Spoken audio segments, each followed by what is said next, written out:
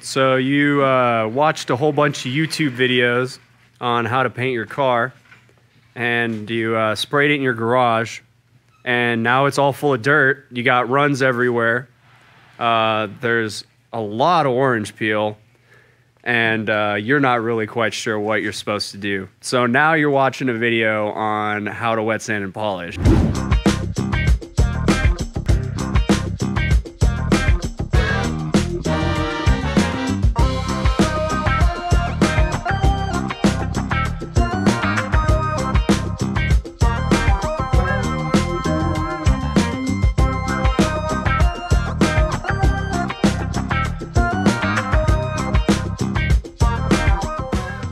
No, but for real, uh, most of the time, pretty much any paint project requires some level of wet sanding and polishing, even if you know you're just going for a factory finish and you need to just nib sand, um, you know, just any little bits of dust and stuff that fell in it, or you know things like that.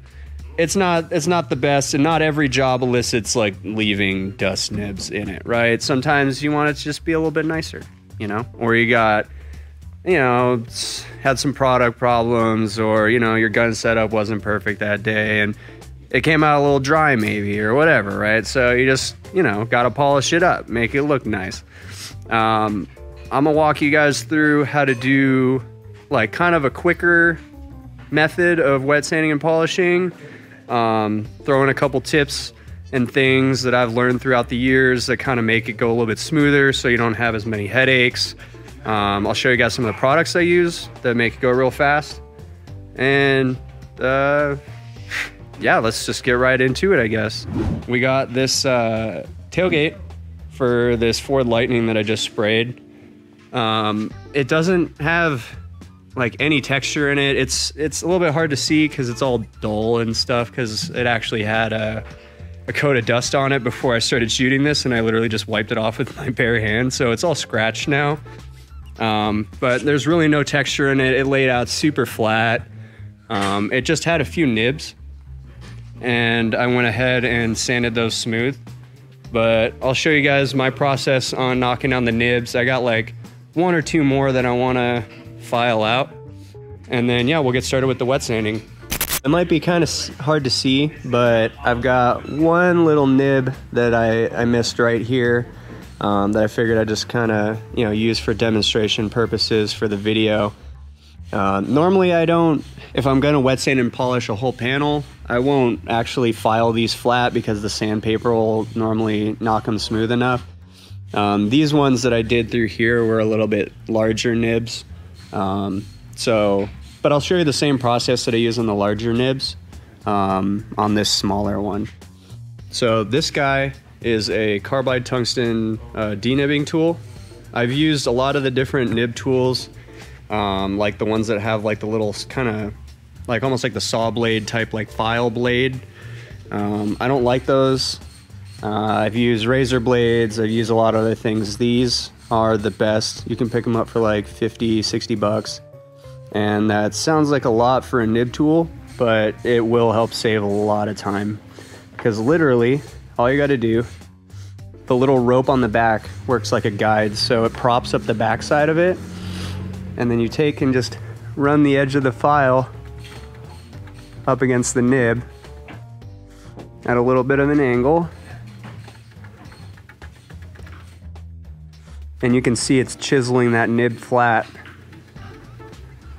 and that's really all there is to it. So that nib is now sanded smooth with the surface around it, and you can tell because it was ever so slightly starting to scratch the surface around it. Um, I will say that the only thing that's kind of a downfall with these is on fresh paint. Um, sometimes it'll want to teeter totter a little bit, and you got to be really careful that the edge doesn't dig into your fresh clear. Now that the majority of that is leveled out, we got these guys um, they're little 1500 grit flat pads. Um, they got a little bit of sponginess to them, but they're pretty rigid. And then just some water. I'm gonna take and just mist on that a little bit. And then just kind of do a few circles and stuff on top of that nib.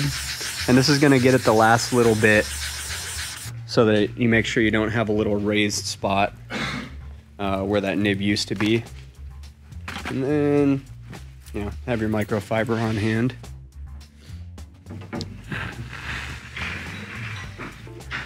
And you can see the nib used to be right there in the center, and now it is all nice and leveled out with the surface around it. Um, if you're going for like a factory finish and you just want to kind of chisel the nibs flat but leave the orange peel in the texture, um, doing that method's really good for not knocking down a lot of the orange peel so you don't wind up with like a weird flat spot. Um, and then the rest of it, you know, is all like factory orange peel. Um, this is what I'll normally do when I'm just doing like a collision repair job or like something that, you know, you want to leave the texture and you don't want to cut it perfectly smooth. And I'll even most of the time, like that one was 1500 grit. I'll use a 3000 grit um, little square block to level it out instead because that won't knock down any of the orange peel around the nib. It'll only knock down the nib. Depending on what you're doing with your project, um, you know, like I said, you may or may not sand down, you know, nibs and everything and get it all super perfect.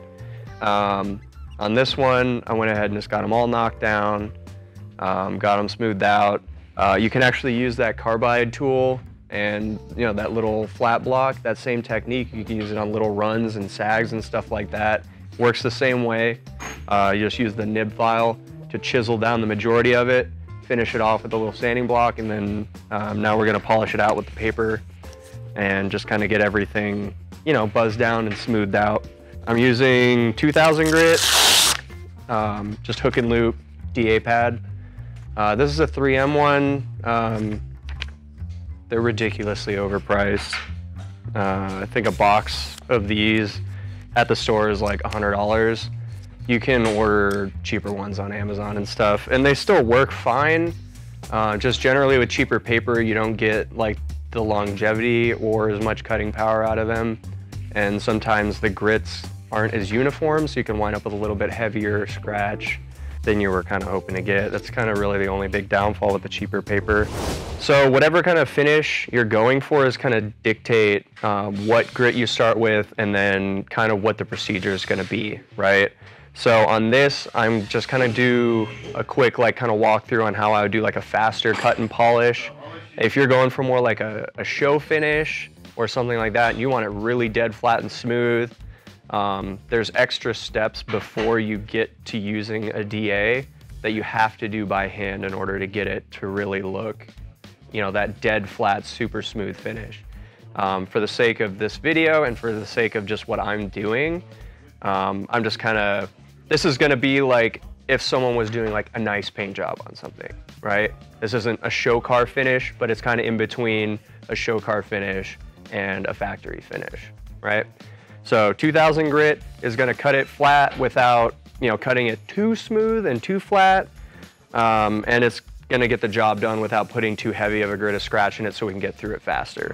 The name of the game with wet sanding is clean. Everything has to be super clean and dust free.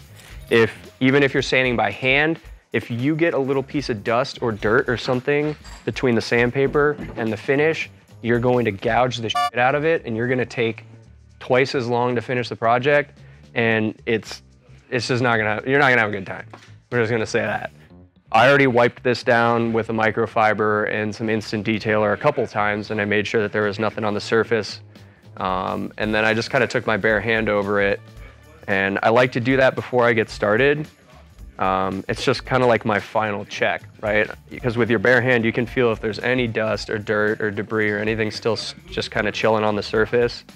Um, so any area I'm about to do, right before I sand it, I just run my bare hand over it and I just make sure that I pick up any last little bit of dust or dirt or anything that's on there. Just another random tip before you get started. Um, I always like to take the air blower and just kind of spray the DA off and the paper and everything to make sure that you know no dust or dirt or anything kind of falls because these get dusty. I use the same DA for doing body work and stuff and I don't want any little chunks of dust or debris or anything to fall off the DA onto the surface. So I'm gonna go ahead and just air blower this over there, away from this, um, to just make sure that there's nothing contaminating the surface. And it's little things like that. It takes two seconds, man. Like, just do it. Save yourself the headache. Don't have some dirt fall on there and then grind it in and then try to chase pigtails out with the buffer for the next three hours. So the spray detailer that we're using is by a company called 3D. Um, I believe they're out of California. Uh, all their products made in the USA and stuff, super dope. This is their uh, body shop safe uh, spray detailer. And I like using that stuff because A, um, you know, we're in like a body shop environment, right? And I don't want to be atomizing silicone and like nasty things uh, in the air that can easily get carried over and land on, you know, a project that we're working on and then I get fish eyes and, you know, problems like that. Um, B, when you're in the middle of wet sanding, polishing and doing all that, I don't like to use anything that has silicones or fillers in it because it can kind of lie to you, right? So you can spray that stuff on and sometimes it's got like waxy, um, you know, residue and stuff like that that kind of artificially fills in like very minor scratches and stuff like that.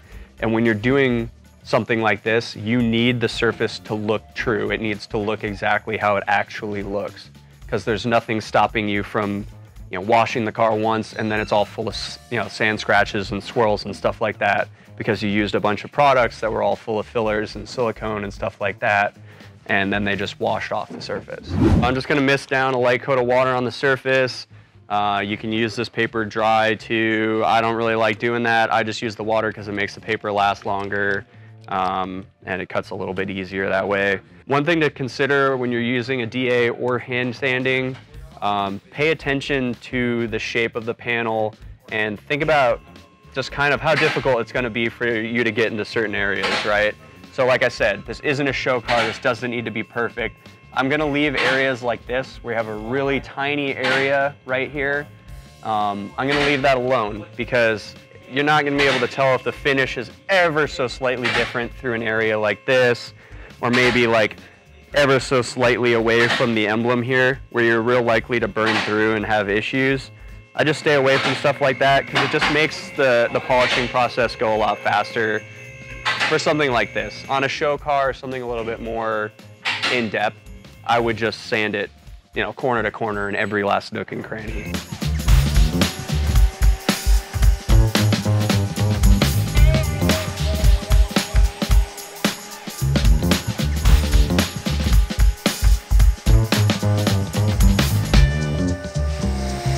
Always like to pay attention to the edge of the DA in relation to, you know, the edge of the panel and where I'm at.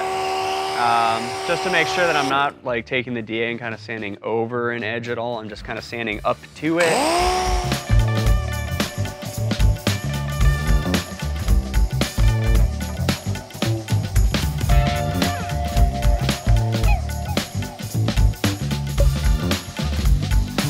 That's just with the first pass with the paper. You can see that definitely not even. Uh, I had a little bit too much water on the surface at first, so the pad was kind of wanting to just float a little bit on the surface and not qu uh, cut quite so much. That's why it kind of came out a little bit uneven, but that's fine because we'll just, you know, I got to keep sanding anyway. Areas like this, you can see where it's just smooth and even and flat, and there's really no uh, glossiness coming through. It's kind of what you want to go for um, when you're wanting to knock everything kind of even, right?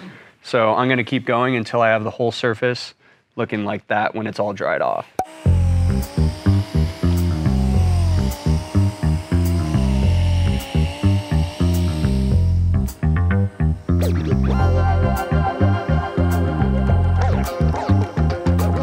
Just make sure when you're doing this that you do a little bit of sanding wipe it off, check it, a little bit of sanding.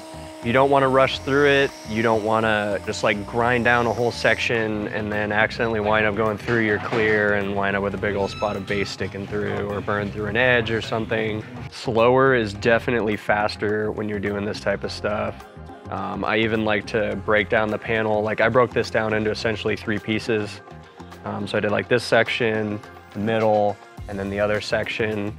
Um, I'll break down panels into smaller chunks and just focus on one area, get it good, move to the next section. Um, it just, again, slower is faster. Next step, we're gonna throw some 3000 grit on. You don't necessarily have to do 3000 grit, I like to though because I hate buffing. 3000 just kind of refines it a little bit further, makes the buffing step go a little bit faster. Um, especially for a dark color, it really helps with getting the sand scratches and stuff out so that you don't have uh, as much polishing to do. And yes, sometimes I do use 5000 as well. I just don't have any right now.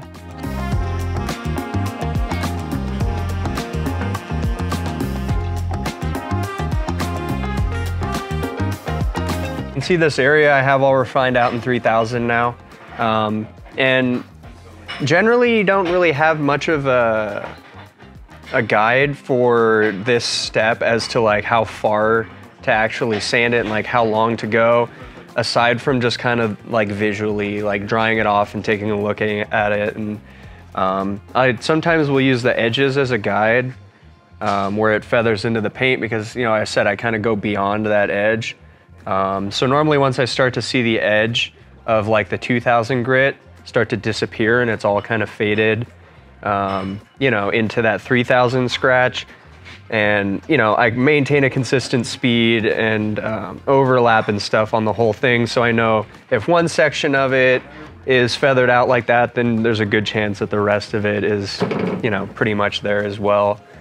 Um, and you can even kind of see it's the difference in the gloss right? So like this area here already has kind of like a dull sheen to it versus over here, it looks more kind of matte and um, not very reflective at all, right? And even through the transition here going from this to this in this area, you can see where the grit starts to step, you know, up to that 3000 right along this edge here. I like to keep the speed on the DA a little bit lower than most people do um, just because I feel like it really gives the paper time to really actually cut and do its job. And I have found that it does seem to make the paper last a little bit longer too. Um, I feel like the RPMs really kind of do mess up the grit on the surface of the paper a little bit faster. Keeping the speed low and just kind of moving at like a nice, steady, slow, consistent pace does seem to actually cut it faster.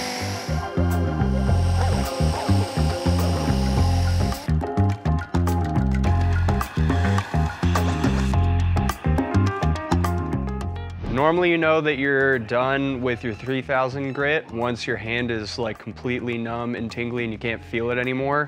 And that's generally how you know that you're ready to start polishing.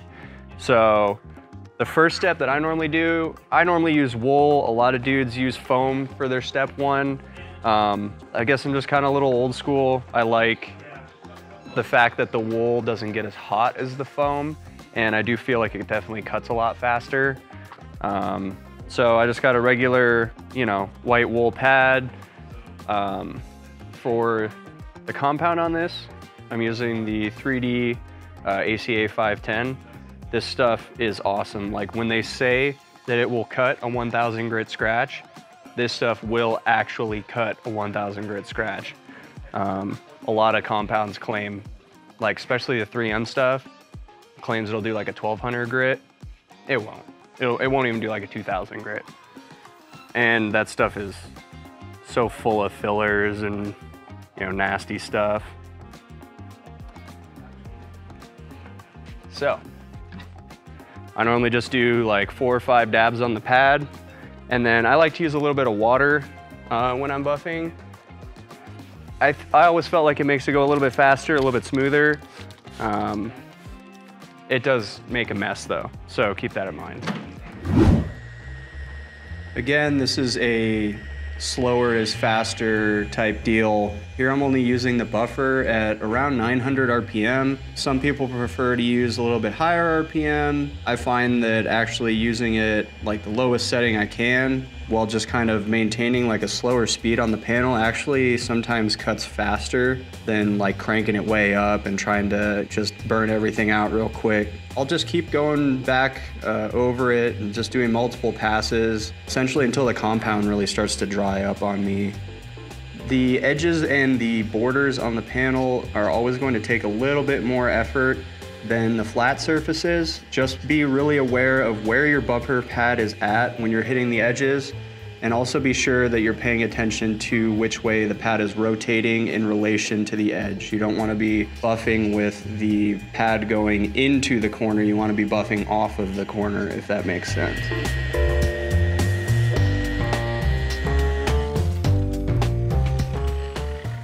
But you can see already, just with the uh, you know first pass, we already got a lot of that that 2000 and 3000 grit chiseled out. We got a little bit of haze around the, the borders that we're gonna take care of.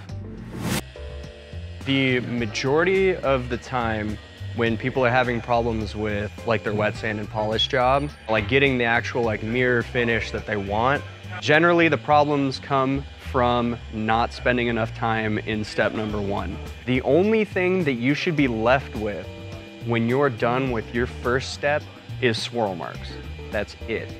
If there's any sanding scratches, DA marks, um, pigtails, anything like that still left, you need to spend more time in step one because you're not gonna get it out with the polish and you're not gonna get it out with your final step, your glazing polish or anything like that. If you're all the way through to you know the final step and it's still looking hazy, you need to actually step backwards and you have to start back with the first step again.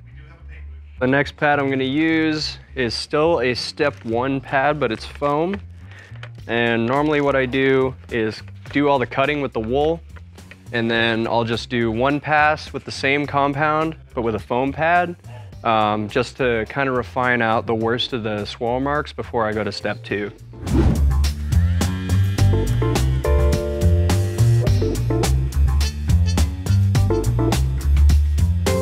So we're gonna go ahead and take the uh, our instant detailer and just give this uh, a nice spritz. And we gotta make sure that we get all of the compound off of it because we don't want this compound contaminating our step two pad. And you can see after that step one, this thing is, for a lot of people, they would say this is done already, right? But at this point now, we're just gonna be, you know, refining the surface even further. So it would look good, like decent in like artificial light, like inside right now, but if you got it outside, it would be all. Step two, we're just using one of these gray foam pads with the uh, little raised bits. And for step two, I like to use the 3D one. This stuff you can actually, if you're in the market for something that you just need to buy like a single product, um, you can use this as a step one and step two polish, and it does actually work well for both. I just prefer like the way heavier cut for what I'm doing. And this stuff stays nice and like soft on the surface. It doesn't want to dry up on you. So I'm gonna go ahead and just hit the whole gate all at once because um, I can get away with it not drying up on me.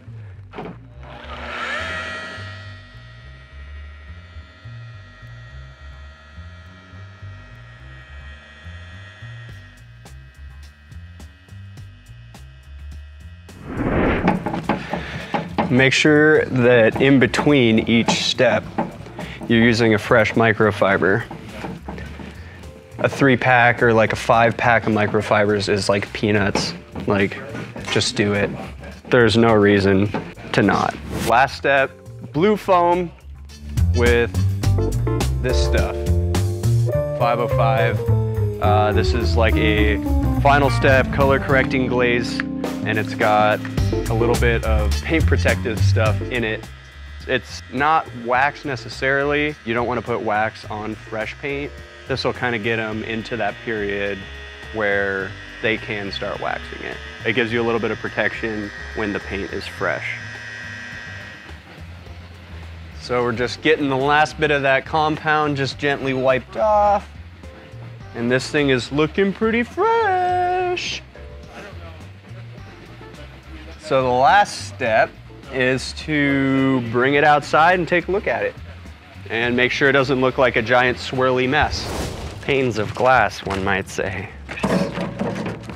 Took about two hours to get that all cut and polished and everything. If you're anticipating doing this on your entire car, I definitely recommend breaking it down panel by panel and kind of Yeah. Get everything in step one, then everything in step two. Take your time, because it's worth it.